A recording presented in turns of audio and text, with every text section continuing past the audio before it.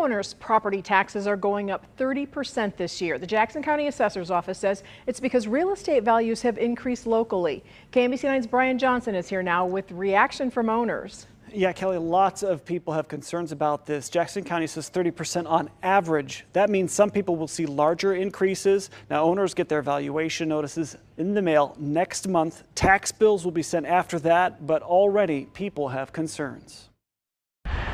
You got a boarded up building, one building that way, you got a boarded up building, one building that way. There's blight on Blue Parkway Drive at the edge of Kansas City near Raytown. We Had to resurface the entire parking lot. Pam Hatcher bought this property from the Girl Scouts who owned it for 40 years. She paid $600,000.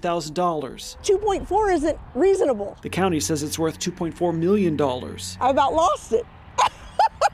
She thinks COVID and working from home resulted in lost paperwork. Where did all that paperwork go in 2021? Who knows?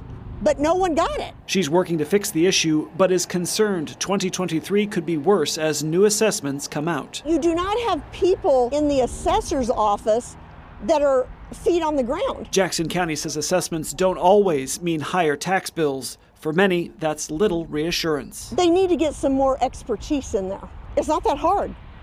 It really isn't. In Kansas City, Brian Johnson, KMBC 9 News.